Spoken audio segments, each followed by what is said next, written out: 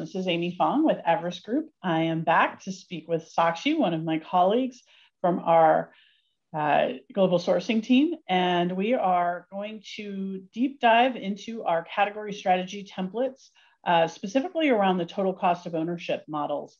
Uh, Sakshi, can you tell us a little bit more about that tool and where the data comes from and how we can use it?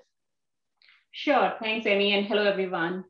Um, so Amy will bring, will bring up the slide shortly, but really the total cost of ownership model is very important as often buyers only look at the supplier fee in a services sourcing environment. However, in the services space, there are, there are certain additional hidden fees or invisible costs at play. So for example, uh, cost incurred in governing suppliers, as well as ensuring that the day-to-day -day delivery happens uh, the relationship and account management cost. Uh, those are some of the costs that are not included in the supplier fee and maybe overlooked.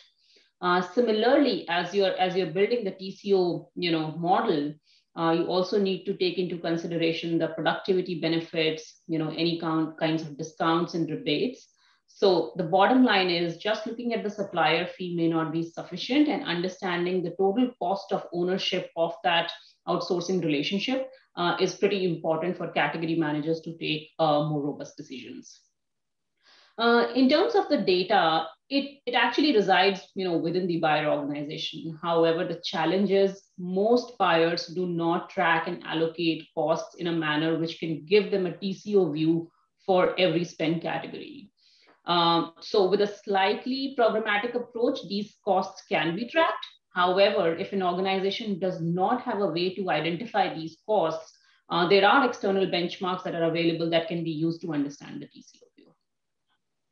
Thanks, Sakshi. That's really helpful. You can see that the, the yellow on here are really the subcomponents and the, uh, the amounts that we suggest that uh, the user, the category manager inputs in here. These are the buyer input slides that are part of this category template. Uh, we also have on the next page a breakdown of the cost structure specifically of the supplier fees. Uh, these are you know numbers that are a I would say an industry average. They're not specific to one uh, provider, uh, but we base it on one very common role. In this case, the example is a senior voice-based uh, agent in Manila, uh, based in Manila. And you know, we look at what is the typical breakdown across technology, salaries and benefits, facilities costs, margin, general and G&A expenses.